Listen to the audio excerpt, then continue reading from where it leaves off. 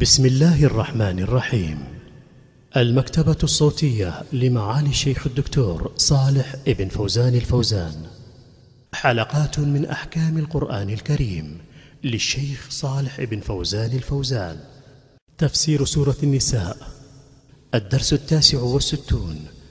بسم الله الرحمن الرحيم. الحمد لله رب العالمين. صلى الله وسلم على نبينا محمد وعلى آله وأصحابه أجمعين. أما بعد فقد توصلنا في الحلقة السابقة الكلام على الآية إنما المسيح عيسى بن مريم رسول الله. قفنا عند كلمة رسول الله. فهو رسول كغيره من الرسل الذين سبقوه عليه الصلاة والسلام والرسول هو من أوحي إليه بشرع وأمر بتبليغه. فهو رسول الله وهو من أولي العزم عليهم الصلاة والسلام. أرسله الله إلى بني إسرائيل كما قال تعالى وإذ قال عيسى بن مريم يا بني إسرائيل إني رسول الله إليكم مصدقا لما بين يدي من التوراة ومبشرا برسول ياتي من بعد اسمه أحمد.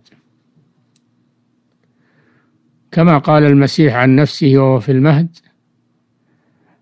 قال إني عبد الله آتاني الكتاب وجعلني نبيا وجعلني مباركا أينما كنت وأوصاني بالصلاة والزكاة ما دمت حيا وبرا بوالدتي ولم يجعلني جبارا شقيا. فهو رسول الله. وفي هذا رد على النصارى الذين رفعوا المسيح من مقام الرسالة والعبودية إلى أن ادعوا فيه أنه ابن الله أو أنه ثالث ثلاثة الله والمسيح ومريم. تعالى الله عما يقولون علوا كبيرا. فهنا يرد عليهم فيقول إنما المسيح عيسى بن مريم رسول الله. هذا حصر في شأن المسيح عليه السلام في أنه عبد ورسول وهذا أشرف مقام يناله البشر العبودية والرسالة.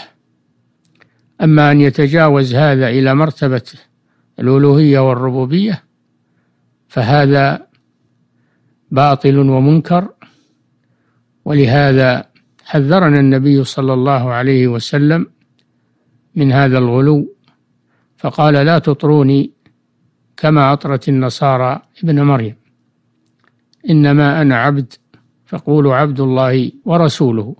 أخرجه البخاري ومسلم.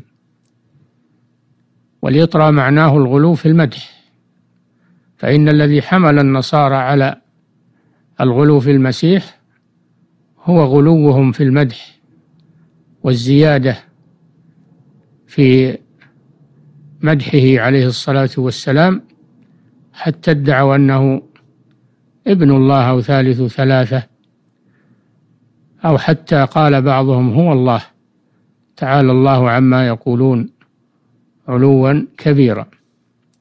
ولهذا قال إنما المسيح عيسى بن مريم رسول الله فهو ليس ربا وليس ابنا لله عز وجل وإنما هو كإخوانه من النبيين والمرسلين. وإن كان خلق من أم بلا أب فالله قادر على كل شيء. وقد قال الله جل وعلا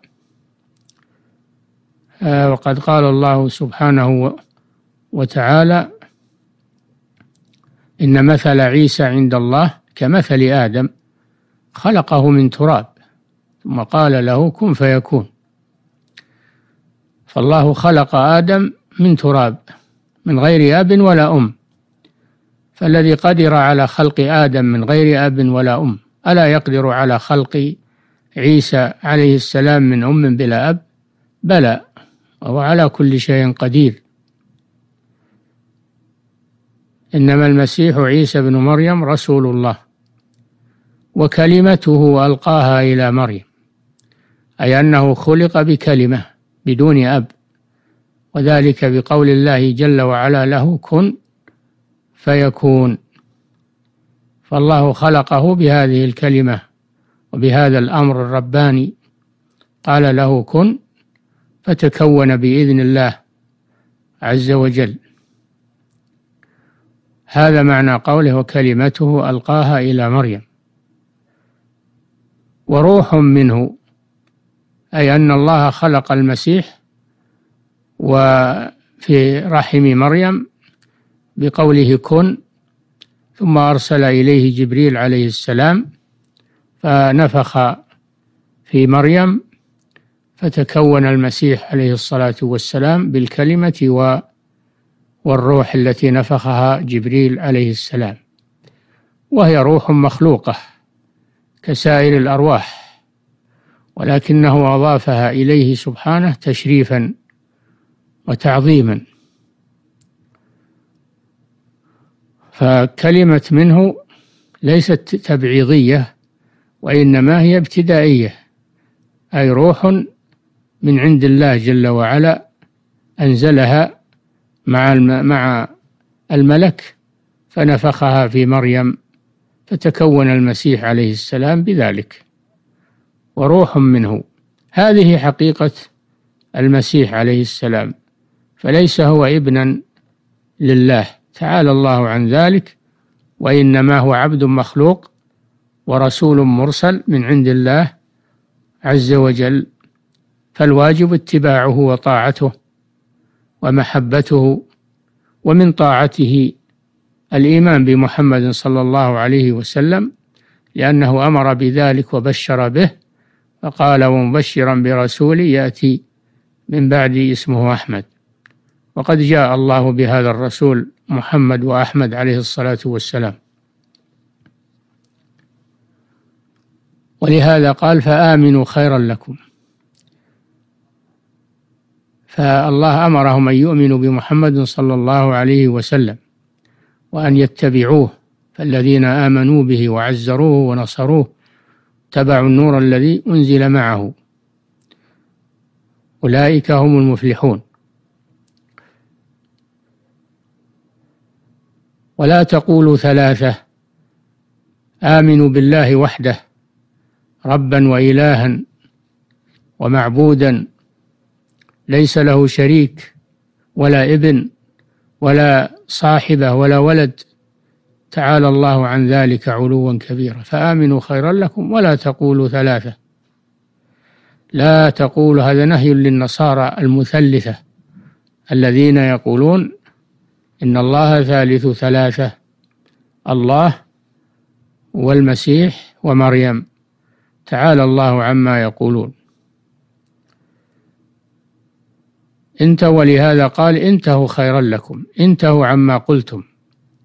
وهذا فيه دليل على أن من تاب وانتهى تاب الله عليه. ولو كان ذنبه أعظم الذنوب. فإن القول بأن الله ثالث ثلاثة هذا أعظم الذنوب وأخطرها.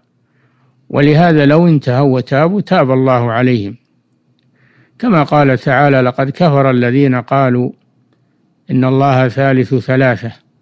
لقد كفر الذين قالوا إن الله هو المسيح ابن مريم. ثم قال بعد ذلك أفلا يتوبون إلى الله ويستغفرونه؟ والله غفور رحيم. وهنا قال انتهوا خيرا لكم. أي انتهوا عن هذه المقالة الشنيعة واعتقدوا وآمنوا أن الله وحده وأن المسيح عبده ورسوله. ولا تقولوا ثلاثة. وهذا ليس من دين المسيح عليه السلام. فالمسيح إنما جاءهم بالتوحيد. ولهذا يقول يوم القيامة ما قلت لهم إلا ما أمرتني به أن اعبدوا الله ربي وربكم وكنت عليهم شهيدا ما دمت فيهم. فلما توفيتني كنت أنت الرقيب عليهم وأنت على كل شيء شهيد. وإن الله ربي وربكم فاعبدوه هذا صراط مستقيم هذا الذي قاله المسيح عليه السلام فهم أحدثوا التثليث في دين المسيح وأحدثوا عبادة الصليب في دين المسيح وأحدثوا أشياء كثيرة في دين المسيح عليه السلام. والسبب في ذلك اليهودي الذي ادعى أنه آمن بالمسيح وجاءهم بكفريات وضلالات أدخلها في دينهم. ومنها التثليث ومنها عبادة الصليب ومنها أمور كثيرة. يقال له بلس اليهودي الذي حرف دين المسيح عيسى ابن مريم وقبلوا منه وأيضا جاءهم بالصلاة إلى المشرق لأنها مطلع الأنوار يقول وغير ذلك من التحريفات الضالة وقبلوها من هذا اليهودي الكافر. نسأل الله العافية والسلام. صلى الله وسلم على نبينا محمد وعلى آله وأصحابه أجمعين.